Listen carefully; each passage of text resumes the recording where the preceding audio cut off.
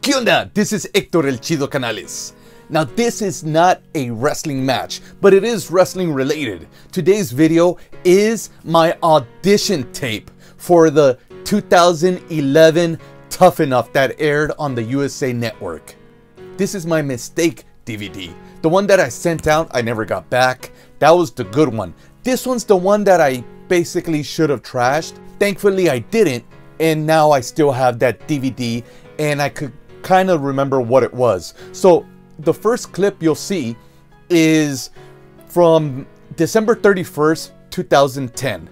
And halfway through, it cuts off. Now, the second clip you'll see is actually the first one I filmed that I didn't particularly like too much because I hesitated, I stuttered too much, and I think it was a little long. So I knew I needed to cut it short and just say the gist of it, say the best parts, and just send it in.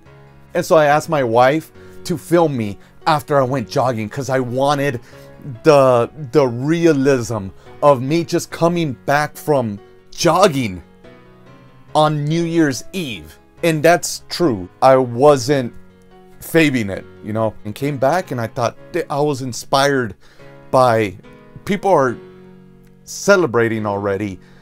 I have to go to work in three hours. I thought that frustration, the realism of it would really come across on video. And that's what I wanted to send in. Obviously, I didn't get hired for Tough Enough, but it did open a lot of doors for me. Many months after they had already cast Tough Enough and the show was over, an assistant producer to the show contacted me asking if I was willing to audition for different types of shows. He told me that he was pushing for me to be in this previous season's Tough Enough. But when they came down to picking the finalists, I just wasn't urban enough. Because they were picking their stereotypes. They picked out their beauty queen, their tough guy, their family guy, and they needed an urban youth. And I just wasn't urban enough. On side note, they also wanted to hire Joey Ryan as the All-American Family Man. I was able to audition for a lot of shows. I didn't get any of them, but it did give me that experience of auditioning, which later helped me out to get roles such as the one on Ray Donovan, on Love, and a couple other things I did. I hope you enjoy this. I watched it and I could only bear to watch it one time because it it hit a raw nerve as you'll see that I am so into wrestling. It, it was everything. I mean, I mentioned how I'm a dad and that's my one number one thing, but it was a lie. Um, wrestling was my number one thing. And looking back, I wish I would have used a lot of that passion inside me towards my marriage, towards being a father. Yeah, I did some cool stuff in wrestling. I didn't make it all the way. I, you know, I had the opportunity, but looking back, even though I had these amazing experiences, I missed out on a lot on being a father, a husband, a son, a brother, a cousin, a friend. I can't regret anything I did because it did help get me to the point where I am now. Don't forget to like, subscribe, comment, and check out my other wrestling matches in where I shoot from behind the curtain and outside the curtain. Hi, my name is Hector Canales. C-A-N-A-L-E-S. I wrestle under the name Hector El Chido Canales. C-A-N-A-L-E-S. I was born and raised in Los Angeles, California. With wrestling boots on, I'm about 6 foot 1. I weigh 195 pounds, I am 29 years old, and I currently work overnight the graveyard shift pulling pallets. And my, uh, my life, it could be easy, but the reason that I'm trying to live a dream, trying to reach my goals, it gets pretty hectic and it gets pretty hard, to be perfectly honest. Right now, it's December 31st, 8.30. you know, just three and a half more hours till everybody starts celebrating. Well, actually, I just came from jogging. So I already saw a lot of people celebrating. I was the only one on the street jogging. After this, I'm not going to be able to celebrate. I got to go to work. I got to go to work, make some money, and bring some food to the house. I'm married and I have a little daughter. I got responsibilities. But I still have this crazy dream about one day looking up and seeing the WWE Universe cheering or even booing. I love it when the fans boo me because then I know I got them. I got them to react. Hi, my name is Hector Canales. C-A-N-A-L-E-S. I wrestle under the name Hector El Chido Canales. C-A-N-A-L-E-S. I was born and raised in Los Angeles, California.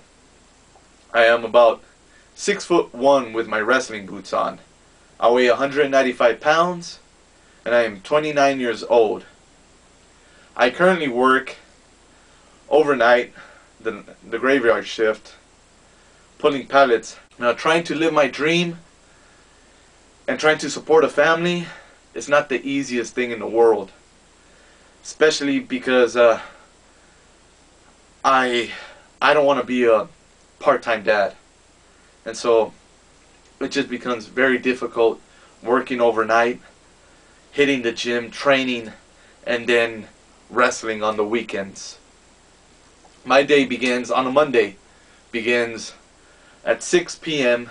I hit the gym, come back home, help my daughter out with her homework, get ready for work, be there by 10 p.m., get out, be home by 7 a.m., get my daughter ready for school, drop her off, come back home, be asleep by 10, wake up at 6 again, go to the gym, come back, help my daughter out with her homework, get ready for work, go to work at 10, come back by 7 a.m., get her ready, drop her off, come back home, go to sleep by 10, and this is a constant thing. This is five days a week that I'm doing this.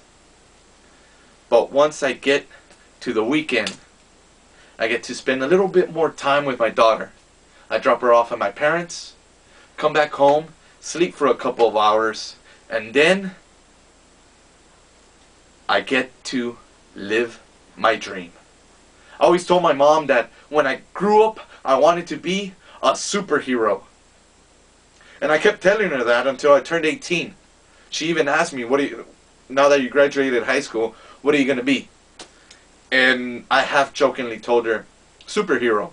Which of course she shrugged and walked away. I half jokingly said it. You know, I really want to be a superhero. So here it is, the weekends. I get to put on my tights. I get to go out there, all muscled out, all oily too, and fight the bad guy. I get to climb the top rope, jump off, do a crossbody, fly through the air like a superhero. That's that's my dream. You know, as a kid, yeah, superheroes don't exist except in the ring.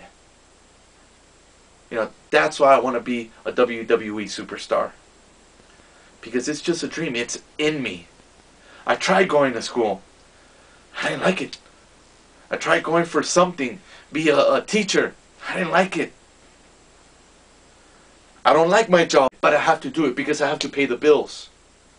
The only place I feel at home is sitting next to my daughter and beating up some guy or getting beat up in the ring.